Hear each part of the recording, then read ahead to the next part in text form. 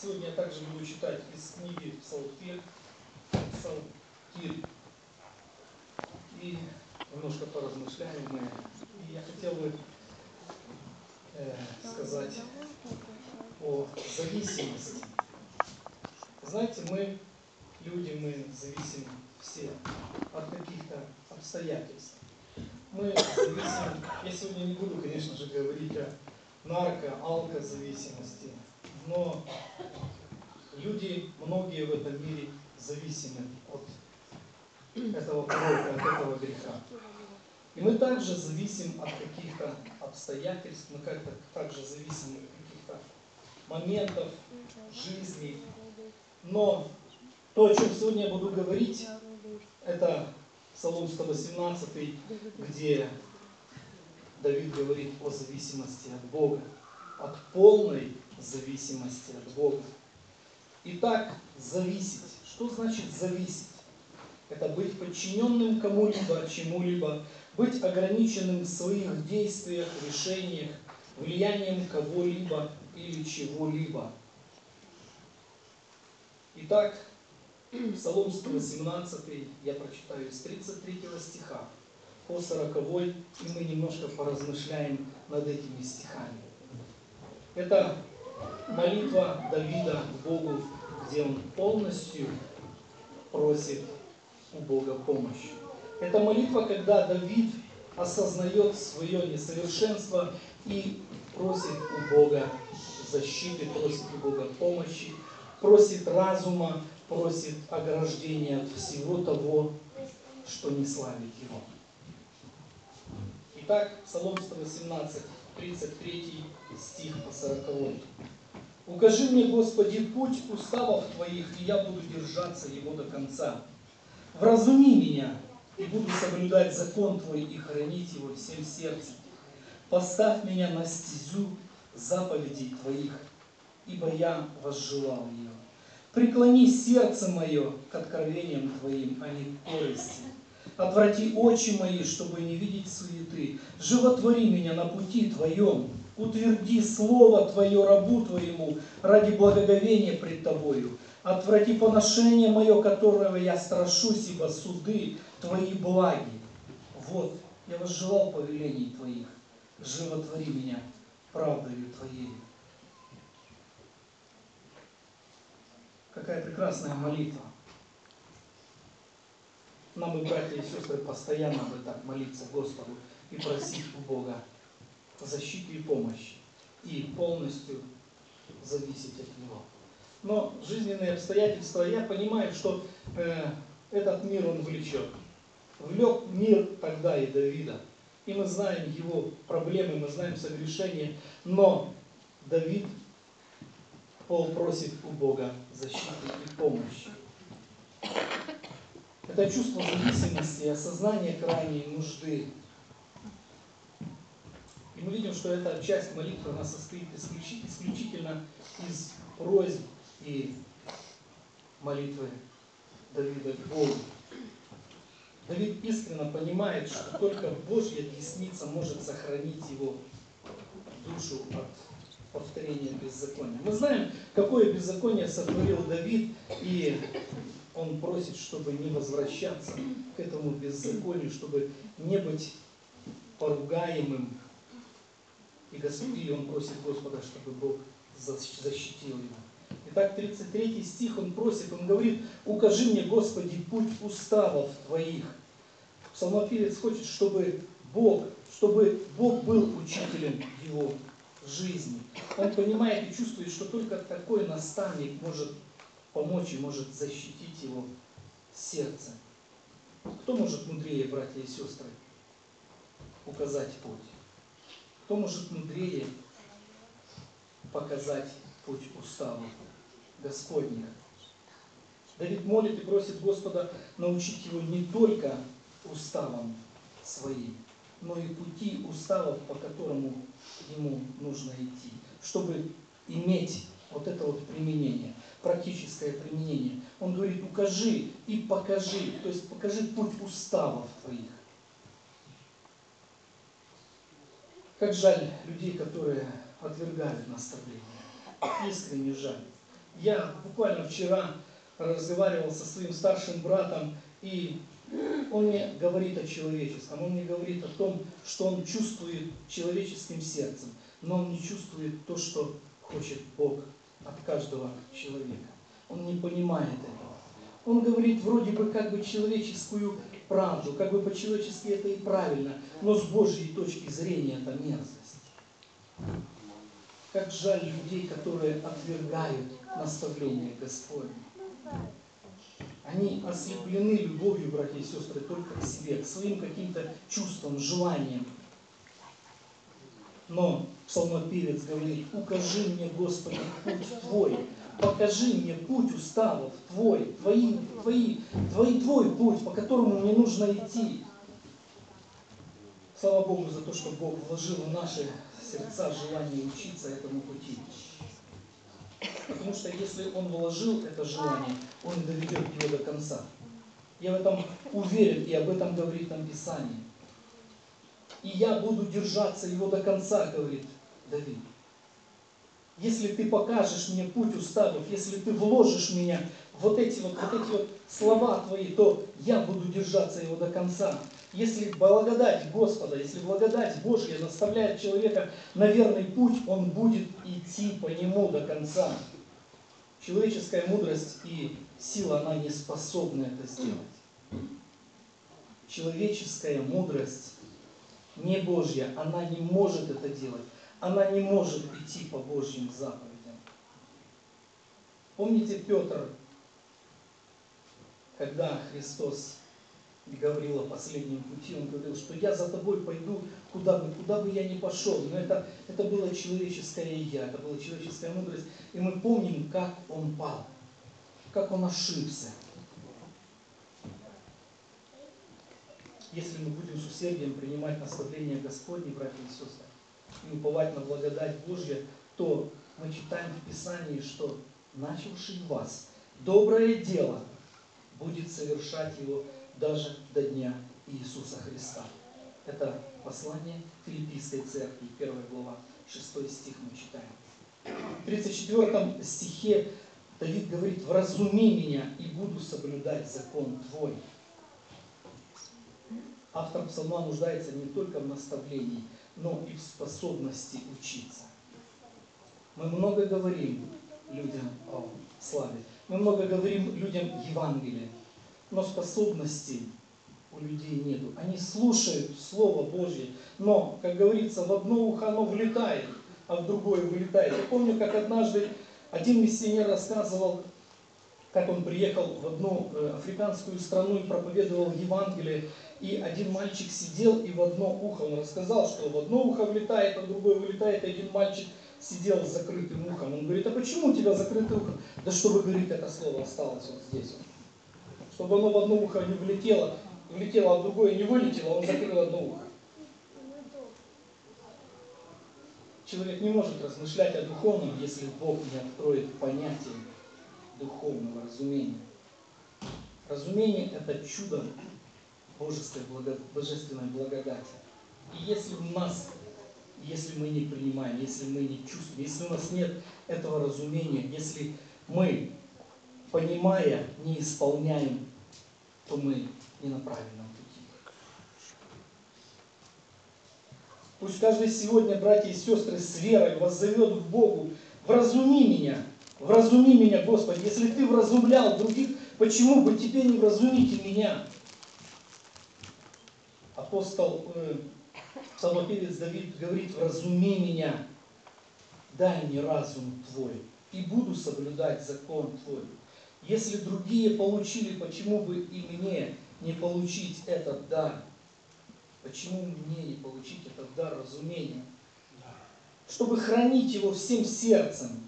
Только возрожденный человек, братья и сестры, может хранить с благоговением в сердце постоянно, с постоянным упованием может хранить наставление, наставление Господне. Только рожденный слышит человек. Святой Дух дает нам познать Слово, которое сказал сам Бог через апостолов, через пророков.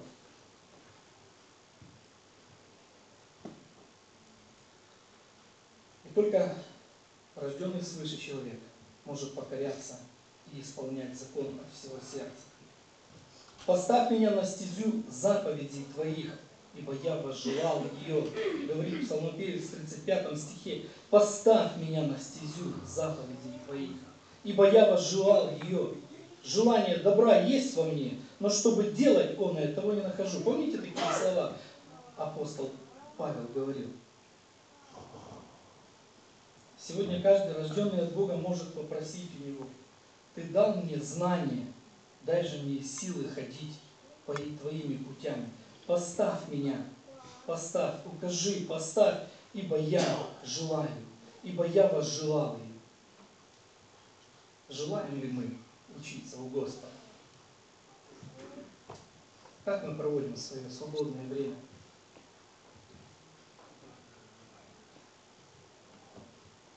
Давид говорит, лучше бы мне постоянно бы пребывать в доме твоем, нежели скитаться, как гнал его Саул.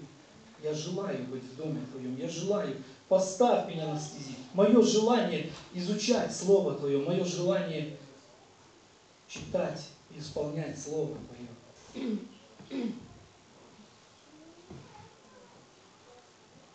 Давид желает, чтобы Господь поставил его на путь. Но сначала он просит, и мы читаем в 27-34 стихе, мы читаем, дай мне уразуметь, дай мне сначала понять, потому что ясное понимание, понимание слова, как ничто иное, помогает поступать правильно. Если человек не понимает, он слушает, но он не понимает, он не изучает, он не, не вникает в Писание, это слово не будет ему в помощь. Оно будет в одно ухо влетать, а в другое вылетать.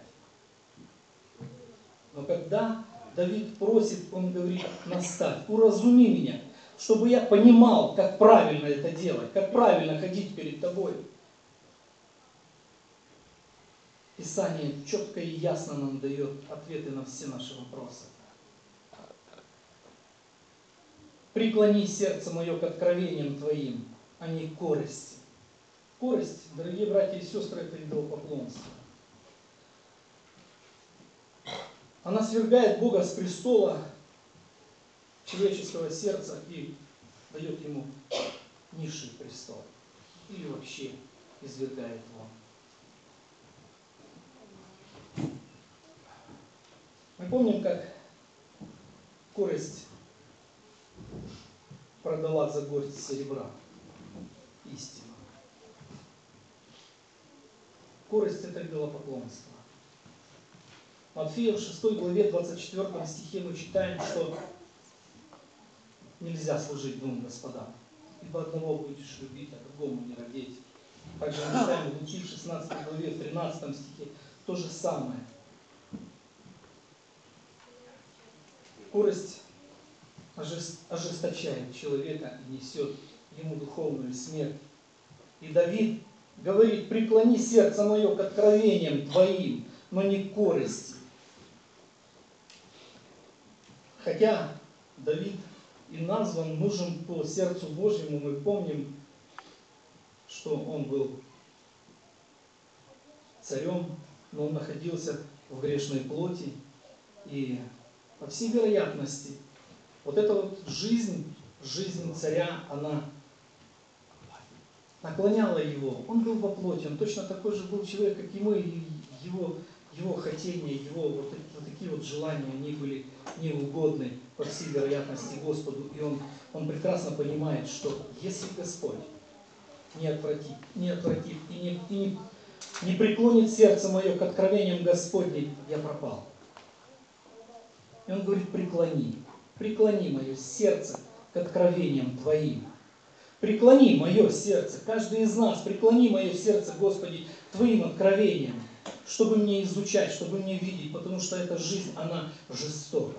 Потому что этот мир, он жесток, он полон зла и греха. И Давид говорит, преклони мое ухо, преклони мое сердце к откровениям Твоим. Он был тоже человек. Я еще раз повторяю, эти мирские блага влекут каждого человека. каждого, независимо от положения, а независимо от э, э, стати и так далее и тому подобное. И мы сегодня, братья и сестры, должны сказать, преклони мое, мое сердце, Господи, к откровениям Твоим. Какие, Господи, Твои откровения? Уразуми, научи, эта молитва прекрасная. Она актуальна в наши дни сегодня, для каждого из нас. Если, братья и сестры, мы склоняемся на сторону одного, то одновременно уклоняемся от другого. Если мы преклоняемся к корости, то мы уклоняемся от откровений Господь. Вот это вот чувство зависимости, это прекрасное чувство Давида в зависимости от Бога. Он понимает, что сам он не сможет справиться никогда в жизни. Никогда. И вот эта вот молитва Давида, она к Богу. Богу, чтобы Бог дал ему все это разумение и понимание.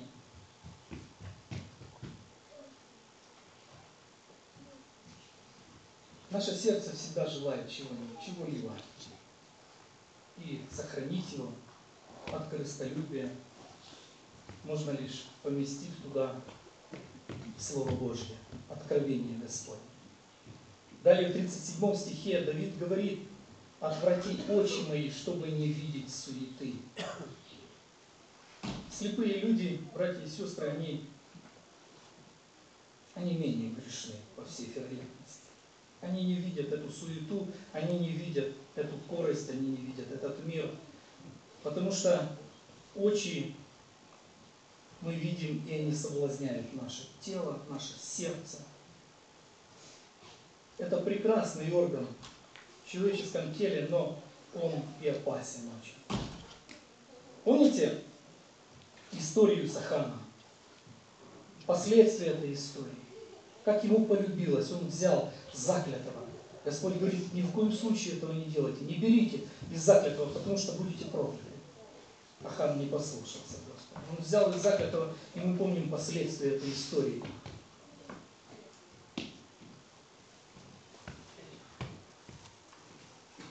Эта история в книге Иисуса Навина в 7 главе, 21 стих. Почитайте дома, если кто забыл. Молитва этого стиха, чтобы Бог не закрыл нам глаза, а о том, чтобы Он их отвратил от зла. Если в какой-то момент, братья и сестры, наши очи смотрят на безумие, нужно отвратить его, эти глаза, эти мысли на крест Христа. Будучи царем, Давид, конечно же, осознавал, что он немощен. Он осознавал полную зависимость от Бога, ибо он просит даже о том, чтобы Бог отвратил его очи отврати очень от зла. Животвори меня на пути Твоем. То есть дай мне больше, дай мне столько силы, сколько необходимо для того, чтобы смертоносная суета не имела надо мной никакой власти. Животвори меня на пути Твоем. В 38 стихе Давид говорит, утверди Слово Твое Твоему рабу, Слово Твоему рабу ради благоговения пред Тобою. Как и псалмопевец, Братья и сестры, мы должны просить, чтобы Он утвердил нас в Слове. Утверди Слово Твое рабу Твоему. Утверди, чтобы Слово Твое укоренилось в сердце моем и постоянно в течение дня напоминало о Твоей милости, о Твоей любви, о Твоей защите, чтобы она сохраняла меня на пути моем. Он говорит, ради благоговения перед Тобою дабы я постоянно помнил Твою любовь, дабы я полностью, полностью отдавался Твоим словам, Твоему Слову и исполнял его.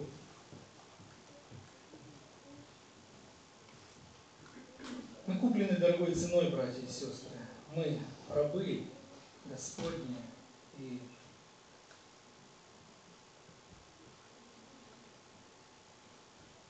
Мы уверены, конечно же, что Господь доведет нас до небесной отчизны. Суета и ложь, они приносят только разочарование. Но Слово Господне приносит нам радость и покой. приносит нам ту надежду, о которой сказал Господь. Я приду и возьму вас к себе, чтобы и вы были там, где я.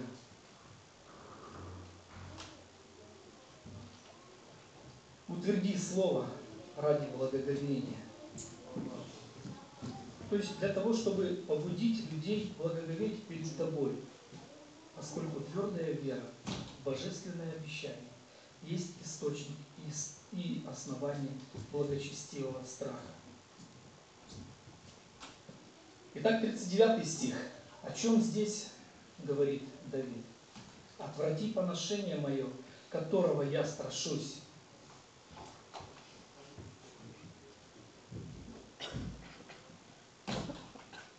Давид боялся, по всей вероятности, чтобы о нем плохо говорили и думали. И он говорит, поношение мое отврати, которого я страшусь. Он боялся, что люди будут говорить плохо, но не о нем, по всей вероятности, о том, в кого, в кого он верит о том, в кого он имеет, в том, в кого он имеет надежду, чтобы не было поношения на Слово Божье. И мы, братья и сестры, должны страшиться, чтобы избегать этого поношения. Мы должны молиться, чтобы не быть нам оклеветанными, чтобы нас никто не оклеветал за какие-то поступки, за какие-то моменты нашей жизни. Мы это перенесем. Если мы, мы грешные люди, и мы много ошибаемся. И мы можем быть в поношении, но мы это переживем. Но когда поносится слово живого Бога, потому что мы христиане, то это для нас страшно. Страшно, потому что поносят истину. Какой же он верующий, если он, если он делает то-то и то-то? Если он говорит так и поступает не так, как говорит. И вот это вот должно быть, должен быть страх в нашей жизни, чтобы не было поношения. Не было поношения на истину, на христианство. Мы достойны поношения, потому что мы, я еще раз говорю, мы грешные люди, братья. Мы много ошибаемся.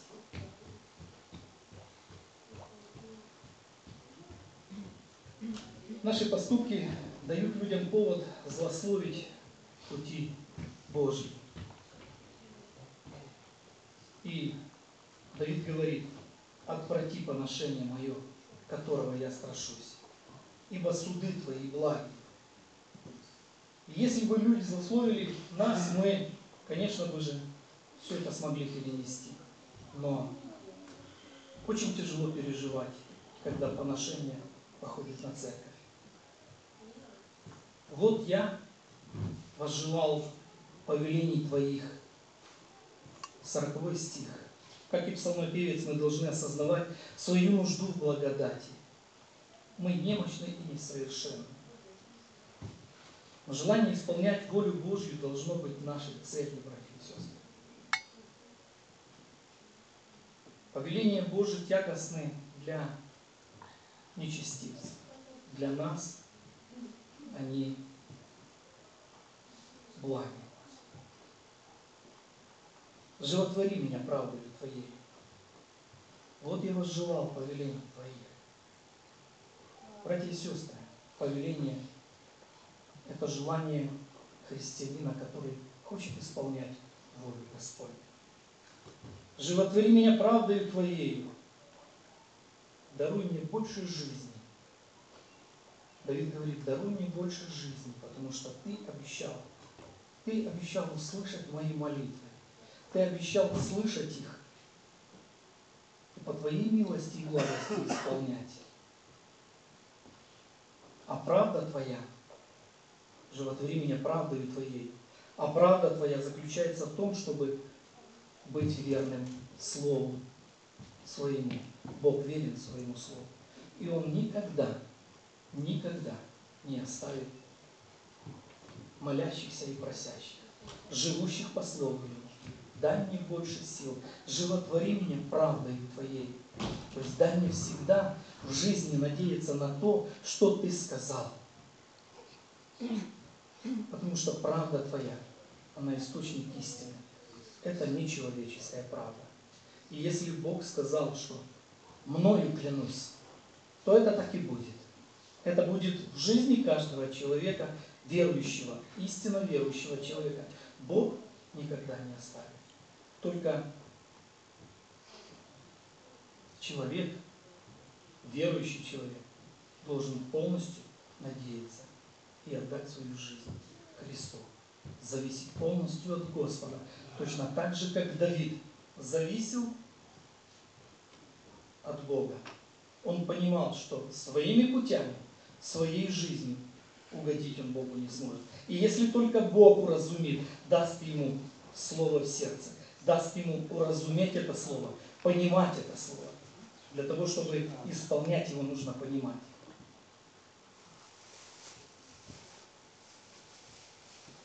Дорогие братья и сестры, мы не обделены благодатью. Мы имеем все для того, чтобы молиться, жить, молиться и угождать Богу. Но только с Божьей милости, только по Божьей благодати.